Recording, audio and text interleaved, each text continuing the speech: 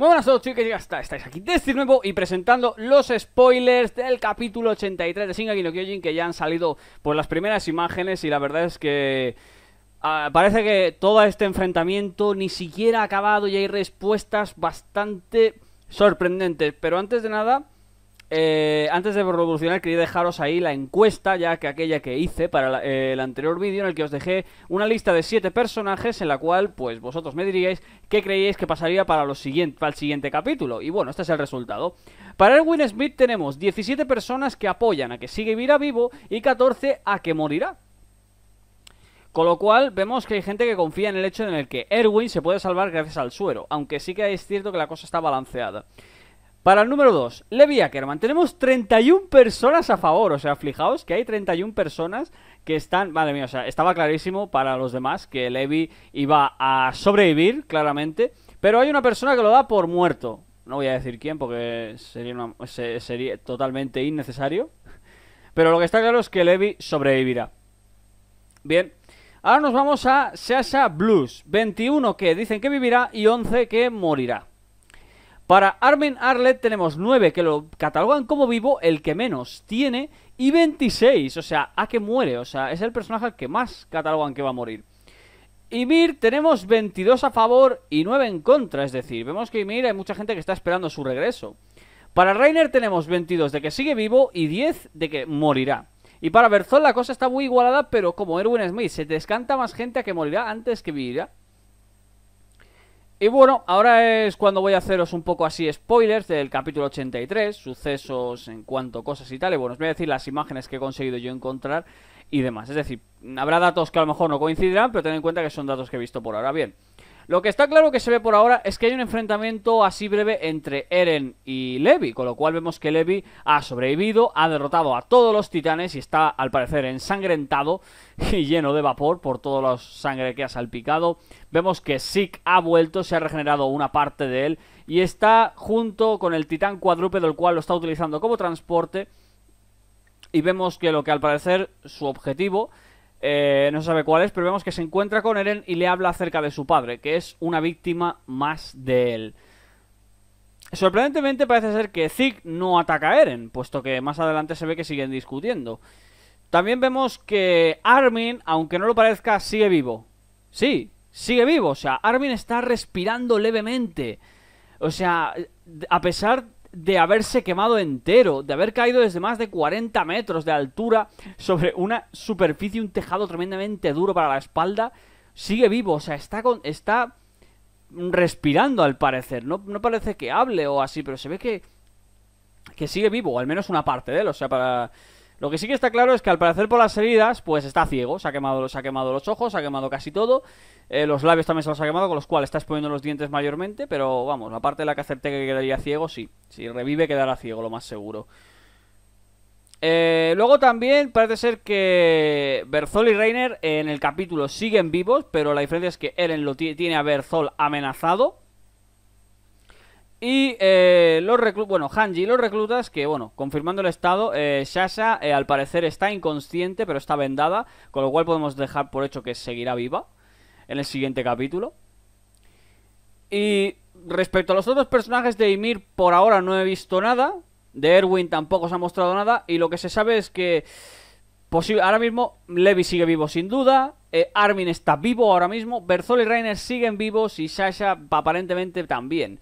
Con lo cual nos deja por Erwin e Ymir, que vamos a decir, de la lista que hice, por ahora están todos vivos, al menos en parte. Algunos están en un estado ya lamentable. Pero bueno, y aparte de esto ya quería también deciros para la segunda temporada, o sea, no quería decir esto en este vídeo porque quería hacer un vídeo aparte, pero bueno, ya quería informaros un poco que la segunda temporada eh, se ha dicho que va, va, a salir en primavera de 2017, es decir, el año que viene, es decir, yo pensaba que iba a salir antes, pero bueno, al final será confirmada que será en primavera de 2017. Y he estado mirado, mirando y al parecer eh, va a ocupar, ya que todavía mirarlo, en todo caso, porque, a ver, yo había mirado Ah, no, o sea, 11 volúmenes, que tenía que ocupar 11 volúmenes, perdón, es que... es que he visto datos en diferentes idiomas y en algunos sitios confunde, pero en principio tendría que, tendría que revelarse por lo menos todos los sucesos de la, coordenada y demás. O sea, en principio, si la primera. Yo le había leído que la primera temporada ocupó nueve volúmenes, pues la siguiente tenía que ocupar 11, que es lo que yo leí. Y bueno, dejando de lado esto, ya es momento de hablar de la parte que quería hablar, es decir, lo de qué va a pasar con lo de Armin y Erwin. Y aquí os dejo bueno, un dato interesante: que Armin, si coge la primera parte de su nombre, que es Arm, que es brazo, eh, puede referirse al hecho de que, gracias a, o sea, a lo del brazo aquel que se perdió de Eren y con el cual lo usó para, para sacrificarse a sí mismo y salvarlo, y gracias a eso se reveló que era un titán. En el caso de Erwin, si cogemos la última parte, es Win, que, que yo pienso que está relacionado con las victorias que ha logrado él gracias a todas sus estrategias y locuras que le han dado victorias a la humanidad. Y ahora sí tenemos que hablar un poco de cómo son los dos personajes, pues diría, a ver, en el caso de Armin, eh, tiene mucha vida por delante. Y es un personaje en el cual también vemos que Erwin ha confiado muchísimo. De hecho, muchos personajes han confiado en Armin a tal punto de que sus estrategias le han dado la victoria. Son dos personajes muy similares. De hecho, es casi parecen una versión diferente el uno del otro. O sea, podría, o sea, con la teoría esta de los bucles y la repetición y todo, o sea, Armin podría colar perfectamente como como, el, como, un, como un Erwin. O sea, es que prácticamente son, son casi idénticos en todo. También que los dos han dado la vida por Eren en todo momento. Vemos que Erwin perdió el brazo por intentar salvarlo. Y que de hecho aún así fue él el que lo salvó de Berzol. Y que Armin se la ha jugado ahora mismo contra Berzol también. Es decir, los dos han, han, ido a atacar a Berzol para salvar a Eren sin importar lo que pasara.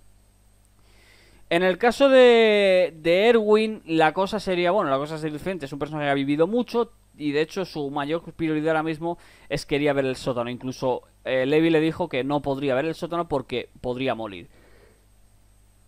Recordemos que gracias a, Erwin, que se sacrificó para que Levi pudiera acercarse a Zeke y de hecho dejarlo en el estado en el que está, el problema es que no lo ha llegado a matar.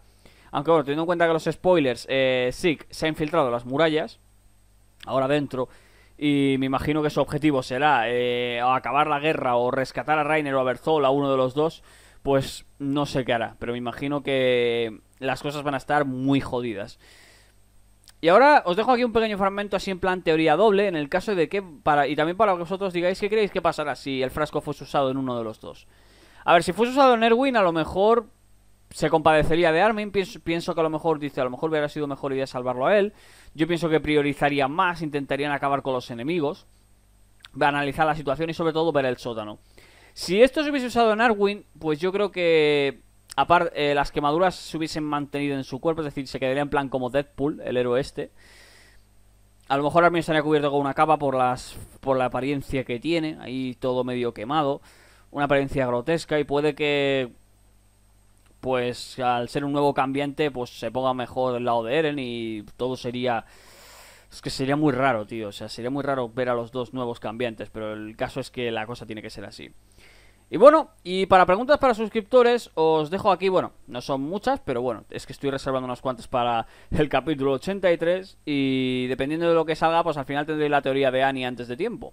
O después, no lo sé, eso depende, porque me parece que ya el capítulo está ya casi está en japonés y falta que solo que lo traduzcan, así que os dejo aquí las preguntas. Primera, ¿se decidirá en el capítulo quién vivirá de los dos? Dos, ¿quién escogeríais si fuerais Levi? Tres, ¿Sig salvará a Reiner y Berzol? 4. ¿A qué se refirió Sig a cuando le dijo a Eren con ser una víctima de su padre? Y final, 5. ¿Creéis que realmente la humanidad ha ganado la guerra de Singasina? Y bueno, pues esto es todo por ahora, así un poquito breve, bueno, 10 minutos, y que le vamos a hacer, espero que os haya gustado y nos veremos ya en el capítulo de verdad. Muy buenas y hasta la próxima.